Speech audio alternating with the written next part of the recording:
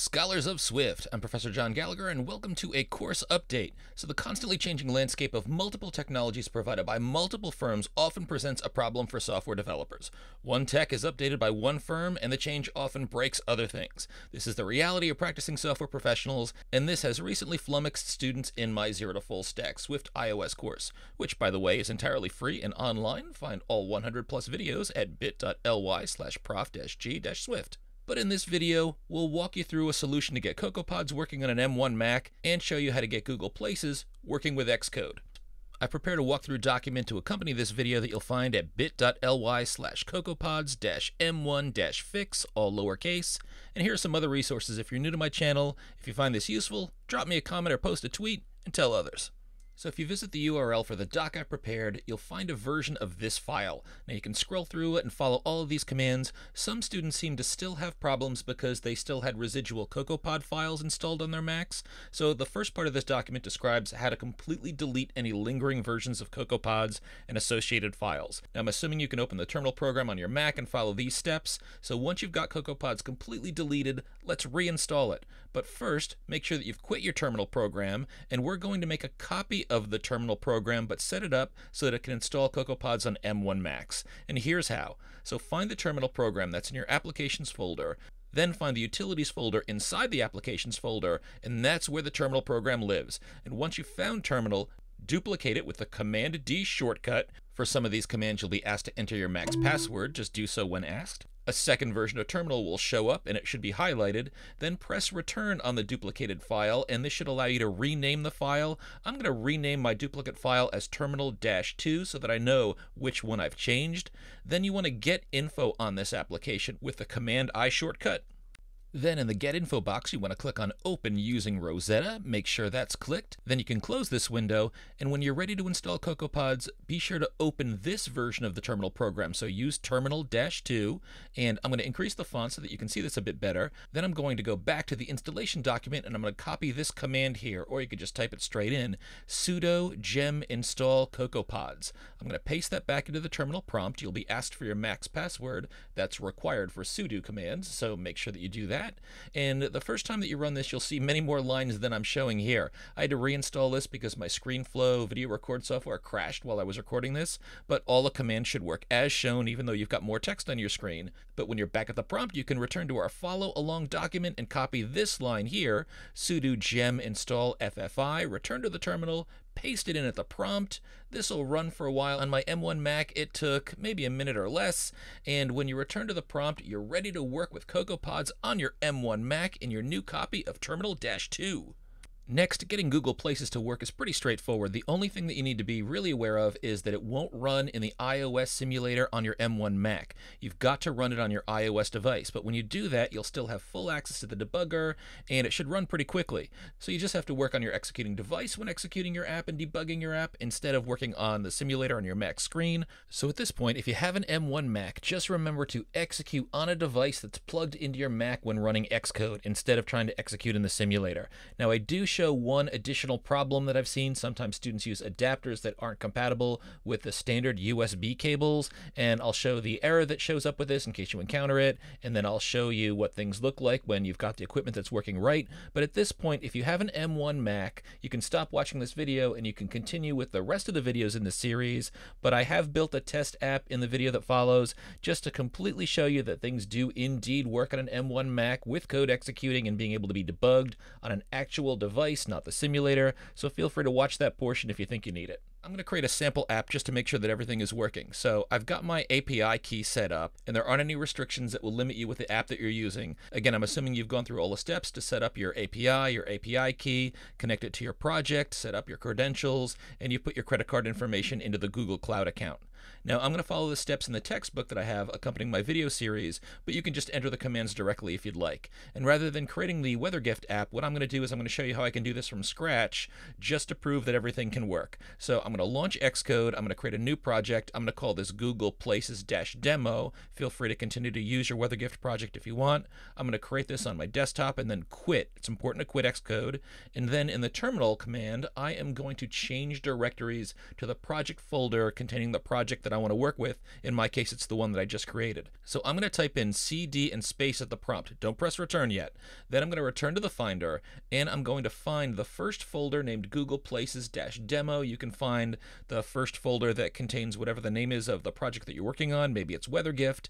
And then I'm going to drag this folder into the terminal. And what this does is it adds the path to the folder so that I can go ahead and press return. And what I've done is I've entered the CD or change directory command, and that changes the directory to the folder where I want to create my CocoaPods file and install my pods. Then I'm going to create my pod file in this project folder, and I do that by typing in pod space init at the prompt and press return. After a moment, you'll be returned to the prompt. That should mean that your file's been created. And if I return to the Finder, we should see that I've created a pod file inside of my projects folder. And so now I'm going to drag the pod file into Xcode and open it up. Then I'm going to delete everything between the target line and the end line, and I'm going to copy this text from my book and paste it in. You can type it in directly if you'd like.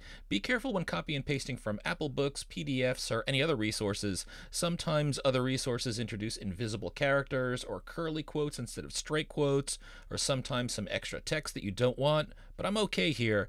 The text that you enter should read pod, space, single quote, Google Places in upper camel case, close with a single quote. Then I'm going to save this with Command S. I'm going to quit Xcode, very important. Then return to terminal, and at this prompt, I'm going to type in pod, space, install, and press return.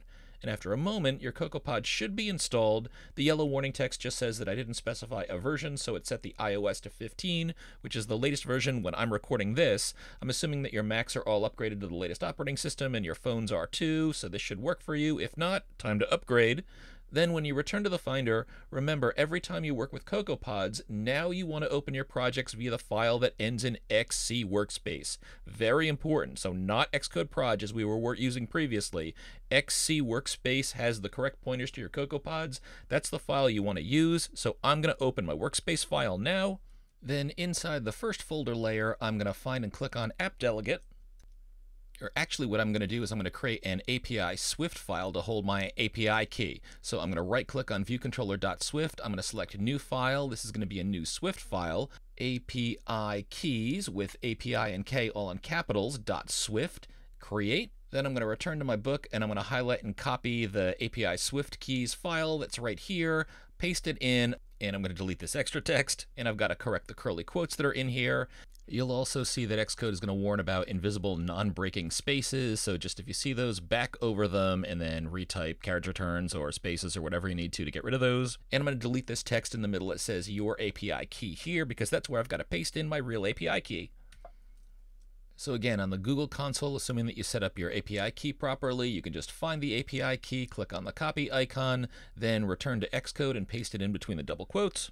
Then open up the appdelegate.swift file, and I'm going to check with a reference text just to make sure that I've got everything down here. And I see I need this GMS Places client line, so I'm going to copy this. I also need to import Google Places. So once I've got that, I'm going to return to Xcode. Again, make sure you're in your app delegate file, and under import UI kit, I'm going to put import Google Places. Then in this very first function, I'm just going to delete the comment that I have in here, and I'm going to paste in the GMS Places line that I've just copied.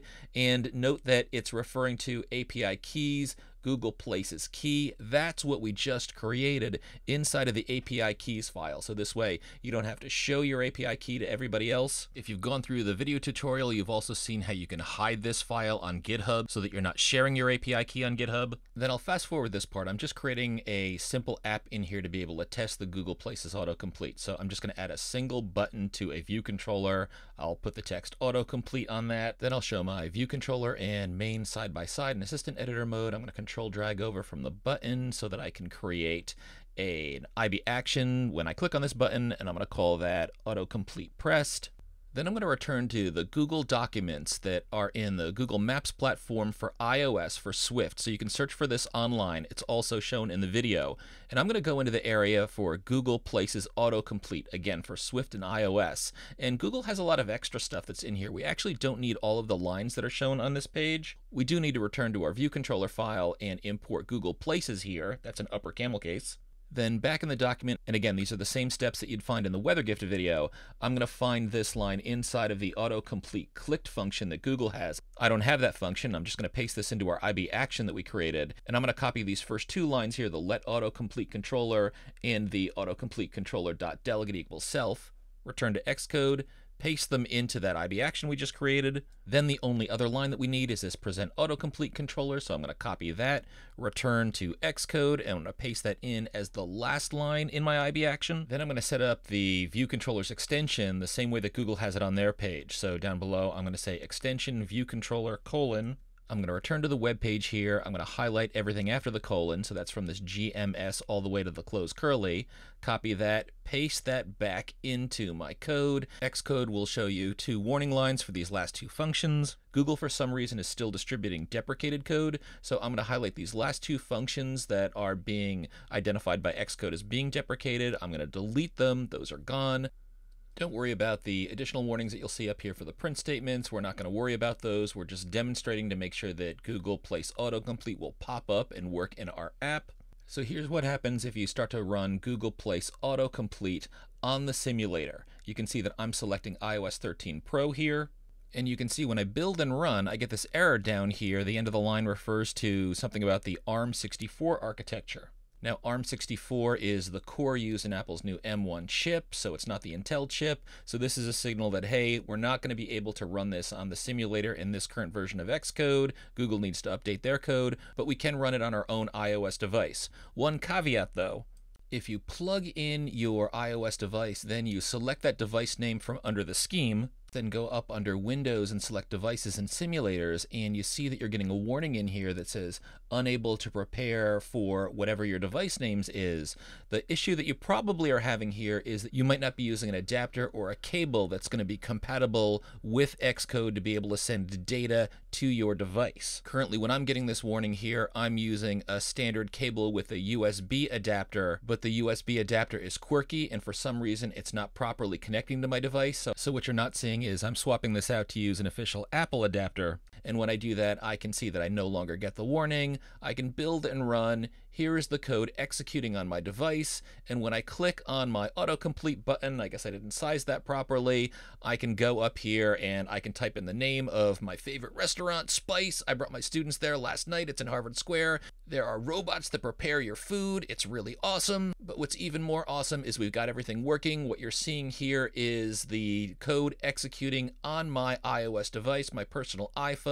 So in fact, we can get CocoaPods working with Google Place autocomplete. We've just got to go through the steps that we set up earlier, and we've got to run this on our device. Hope this helped you out. Good luck with everything and keep at it.